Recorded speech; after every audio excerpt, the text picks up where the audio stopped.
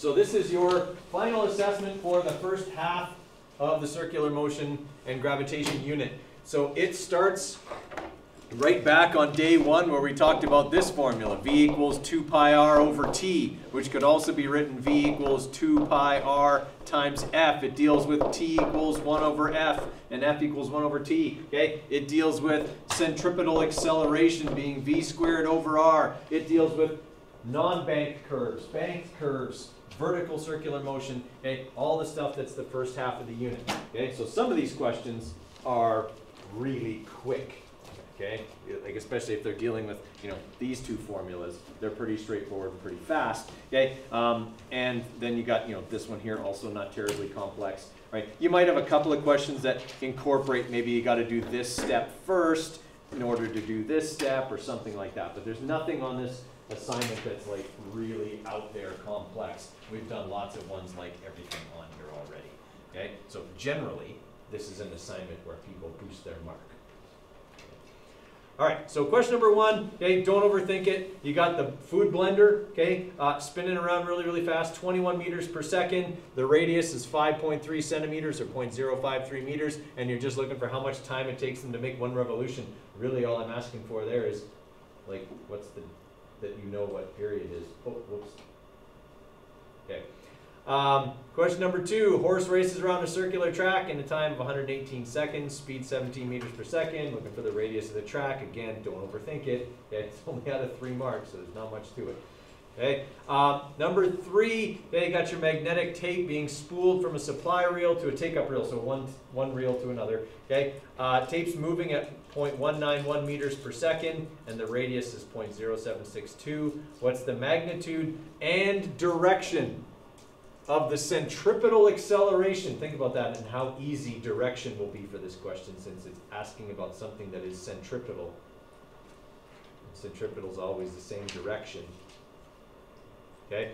Um, as it's uh, being wound on. Okay, so that's all you're looking for there. Okay, uh, number four, race car travels constant speed around a circular track. They give us the radius, but watch out for that. They give it in kilometers. Okay, it's 2.6 kilometers.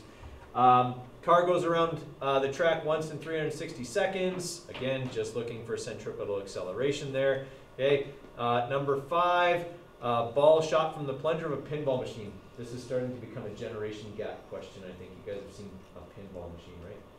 The little flappers and the ball bearings. Okay. Um, so it goes around that first corner after it's uh, shot by the spring. Okay. And because of a centripetal force of 0.2028 newtons, the ball follows a circular path. We're given the radius, you're just looking for the speed of the ball. Okay, again, not an overly difficult question. Um, number six, okay, person twirling a ball on a string in a horizontal circle. Okay, radius is given, ball travels around the circle in half a second. Okay, looking for the centripetal force. Then you're looking to tell me if the speed is doubled, what happens to the centripetal force? you can actually do that one without like redoing all your math. Okay, you can use common sense on that one. Um, and then, if not, by what factor does the centripetal force increase and why? All right, so make sure you have a bit of an explanation for the why part, as that question is out of seven marks. Okay. Um, number seven, you're looking. That's a bank curve question. You're looking for the angle that the curve should be banked at. You know the radius and the speed. Don't overthink it. Okay. Uh, number eight, uh, another bank curve question, okay, just looking for the speed, okay, if it was frictionless, again, don't overthink it, okay. Number nine is a vertical circular motion question. We've got apparent weightlessness, okay, being created for a brief instant when the plane flies over the top of a vertical circle. We know the speed, we're looking for the radius of the circle. Okay, uh, number 10, also a vertical circular motion question.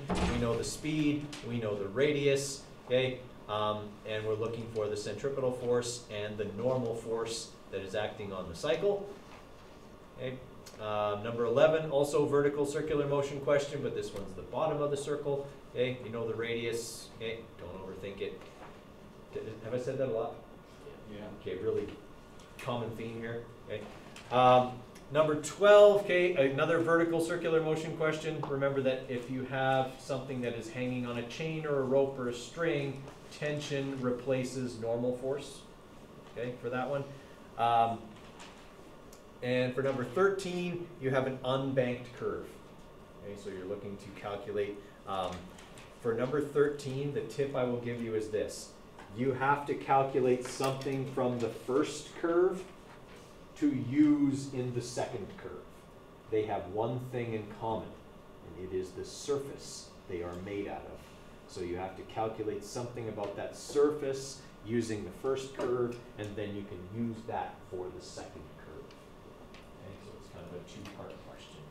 Probably that's the only really tricky question on the whole assignment.